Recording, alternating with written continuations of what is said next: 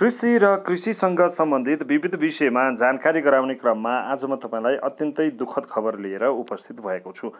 तपाईँ जुन दृश्य देखिरहनु भएको छ मकवानपुर जिल्लाको थाहा नगरपालिकाको दृश्य हो। यहाँका कृषकहरूको अकबरे खुर्सानी खेती यतिखेर खासै सफल भएको छैन।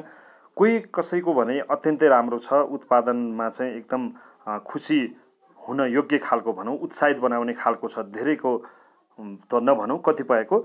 तर अधिकांश कृषकको यतिखेर विभिन्न समस्या आएर अकबरे खुर्सानी खेती बर्बाद भएको छ करोडौँको सम्पत्तिको नाश भएको छ। यो मानेमा कि लगानी डुबेको छ आउने अनुमान गरिएको पनि सुक्खो आएको छैन। सबैजना चाहिँ यतिखेर निकै नै चिन्तित। भनौँ कि निकै दुःख पीडा बोकेर कृषकहरू यतिखेर बसिरहेका छन्।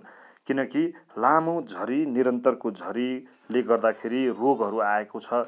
ओइलाउने पात झर्ने कुहिने र पात चाहिँ कक्रक्क पर्ने फुल चिचिला नअडिने अनि विषादीहरू स्प्रे गर्दै गर्दाखेरि पनि पानी परिहाल्ने तुरुन्तै बगाउने र स्प्रे गरेको विषादीहरूले पनि खासै काम नगर्ने भएको कारणले गर्दाखेरि धेरै कृषकहरूको चाहिँ करोडौँको खेती डुबेको छ यसपालि। एक एकजना कृषकले कम्तीमा पनि एक डेढ लाख दुई लाख तिन लाख चार लाख पाँच लाखसम्म आम्दानी गर्ने यो एरियामा अकबरे खुर्सानी बिक्री गरेर त्यसरी आम्दानी गर्दै आएका कृषकहरू यतिखेर एक रुपियाँको पनि बिक्री गर्न नपाउँदा निकै चिन्तित भएको अवस्था छ। तपाईँ देख्न सक्नुहुन्छ अकबरे खेती यहाँ मल्चिङ विधिद्वारा गरिएको छ।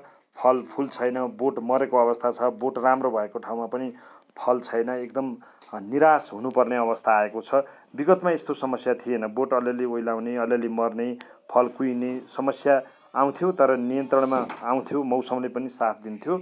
यसपालि भने अनेक खालका समस्याहरू आएर कृषकहरू चाहिँ बरु धान मकै नै लाउन पाएको भए हुने रहेछ भन्ने खालको सोच बनाइरहनु भएको छ। अब यो एरियामा अकबरे खुर्सानी खेतीको भविष्य छैन। भन्ने चाहिँ अनुमान पनि गर्न थालिसकेका छन्। कृषकहरू अब अन्य बाली नै लाउनुपर्छ। अकबरे खुर्सानी खेतीले चाहिँ कृषकहरूलाई माथि उठाउँदैन भनेर धेरैले चाहिँ चिन्ता गरिरहेको अवस्था हो। भिडे लगाउँदा भ्यान्टा लगाउँदा होस् चाहे त्यहाँ चाहिँ पिरो लगाउँदा होस् अन्य बाली लगाउँदा धेर थोर बिक्री गर्न पाइन्छ। तर अकबरे खुर्सानी उत्पादनमै दुई चार महिना बित्ने भएको कारणले गर्दा अन्तिम अवस्थासम्म पनि यो चाहिँ खतरा भइराख्ने अवस्था हुन्छ। ओइलाउने मर्ने डढ्ने फलहरू कुहिने झर्ने विभिन्न खालका समस्या र निकै चुनौती धेरै लगानी गर्नुपर्ने आम्दानीको कुनै निश्चित नभएको कारणले गर्दा अब बिस्तारै बिस्तारै मकवानपुर जिल्लाको थाहा नगरपालिकामा चाहिँ अकबरे खुर्सानी खेतीमा कृषकहरू चाहिँ निरुत्साहित हुनुपर्ने अवस्था चाहिँ यतिखेर आएको छ। मौसम लगायत विभिन्न रोगहरूको कारणले गर्दाखेरि चाहिँ विगतको तुलनामा उत्पादन भएकै छैन भन्दा पनि फरक नपर्ने अवस्था आएको छ।